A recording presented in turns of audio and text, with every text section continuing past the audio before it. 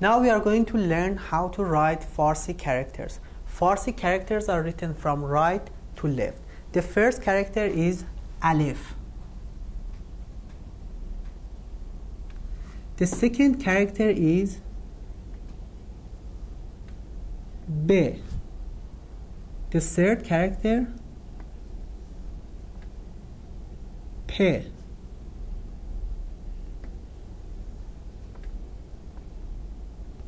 T.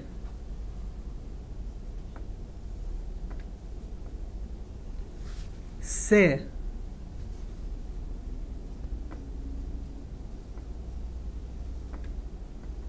جیم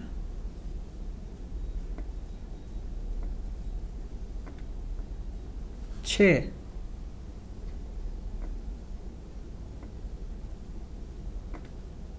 خ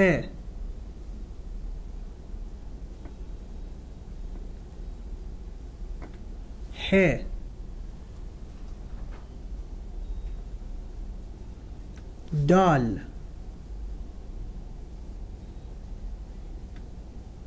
زال. ر ز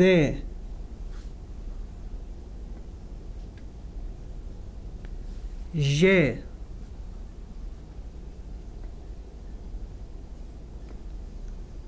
سین.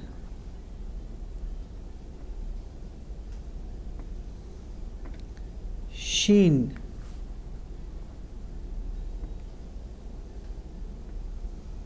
صاد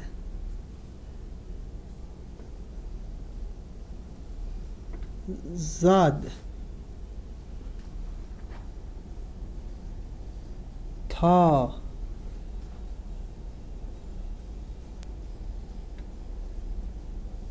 زا.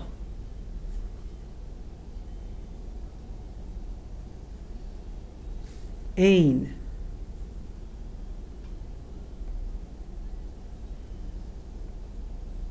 غین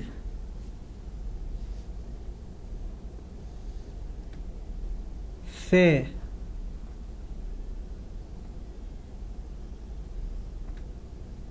قاف.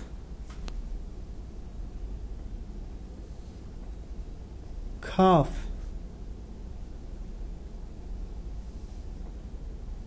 گاف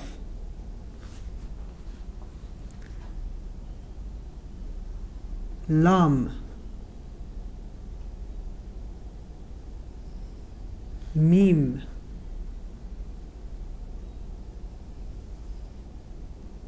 نون.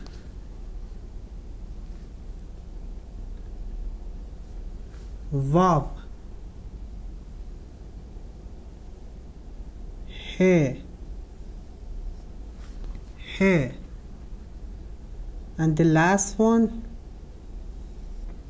yeah so the Farsi characters are al, uh, alef and the sound is e b p k s j ch kh ه